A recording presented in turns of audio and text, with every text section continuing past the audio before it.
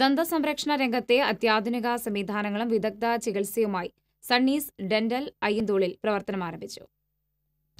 Thrissur Ayyanthole civil line റോഡിൽ പ്രവർത്തനം ആരംഭിച്ച Sunny's dental Omega group managing director N A Sunny ഉദ്ഘാടനം ചെയ്തു.